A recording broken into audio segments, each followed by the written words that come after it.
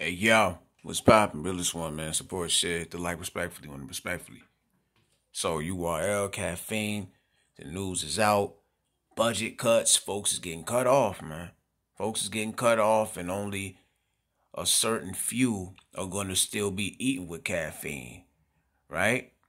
Now, to me, it was clearly obvious that something like this was getting ready to happen. URL and caffeine slowly on the way out. That era is slowly about to be done, right? Think about it. They stopped having live events. That app hasn't had consistent events on there so in so long that that thing got dust on it, fam. Right? Uh, the last time they even did have an event was Kings versus Queens. Look what they did there. They did something they never did before unblock the goal for 25 dollars. What? You seen the outrage that caused? To me, that was a clear telltale sign. Oh yeah, something finna change here. Something finna change. And some would say smacking them was dropping hints the whole time. So a lot of people ain't surprised. But you know, with a move like that, a lot of people are gonna be caught up in that. A lot of people getting cut off, and there's gonna be some who are still things aren't gonna change. Things might even get better for them behind the situation. You know, so everybody reacting to it. And I, I want to say this. A life lesson for me is to never make fun, laugh, or use others other folks' misfortune as entertainment. Right? I see people reacting like Eazy. He's on Twitter. He's, you know, he rolling at it. You know I'm saying? He's saying dude's gonna have to either rap a hundred times a year or get real jobs. Like I don't know if you clowning people who got to work real jobs, but last time I checked, that's what fools was doing before they even got into battle rap. So I think that's corny if that's the case. He even went went live talking about UPS is hiring.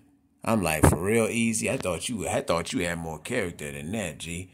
We know your situation when you are URL, and yeah, you got out the ride at the perfect, I mean at the perfect time, fam. You got Remy as the entertainment manager you you know he on Chrome side. You know what I mean? He got a battle on YouTube with Hollow that's that hit two mil, still going up, and he got a few multiple battles lined up that people are waiting on and want to see.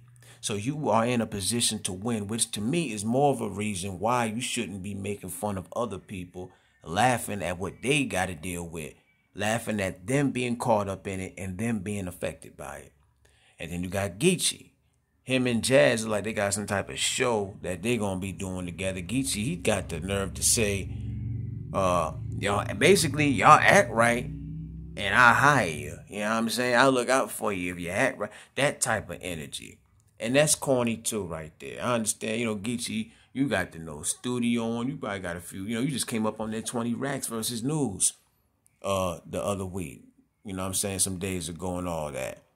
You know what I mean? But this is my thing. All y'all came from the hood, and y'all know what it mean when you lose out on some bread in in your pocket. Everybody got babies and rent and mortgage and all that, and I think that's a sucker. That's a sucker move. I feel like y'all lose points for that to make fun of that. I wouldn't do that. And I get it. This is battle rap, right? Where people take others' pain and embarrassment and misfortune and wrap it up into bars and punchlines. So I, maybe I should expect that, but it just still look corny. You got to remember, fam, even if you are up compared to the other person, if you're on your way up or if you're already there, everybody should know this. Be careful them shoes that you pissing on on your way up or while you sit atop. Because they might be the same shoes you might have to clean off on your way down. You understand? All I'm saying is ain't nobody exempt. That's all I'm saying. But yeah, man, at the end of the day, URL making different moves. They switching it up on to the next. You know, it's to be a little interesting to see what they're to do with this Netflix thing. They say it was a documentary or a movie. Hell, they might be bringing events over there. Who knows? For all we know. You know what I'm saying? But y'all leave your own comments and thoughts on everything that's going on with this. Realest, I'm out.